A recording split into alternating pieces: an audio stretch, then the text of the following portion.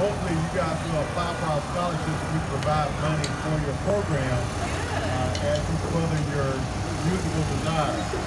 Uh, just to let you know, I was in the band. How we went to school. I was Jackson State. I know y'all don't like Jackson State. So, so, uh, so we look forward to this. It's very impressive to see the young people that's really involved and really focused in music. Very good job there. Uh, one thing I would like to do, I would like to announce our team.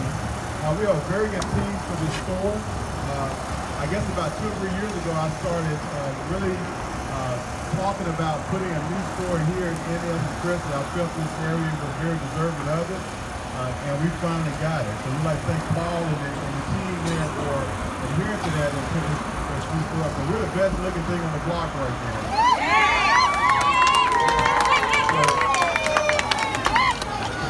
Y'all go back and tell McDonald's that we're here.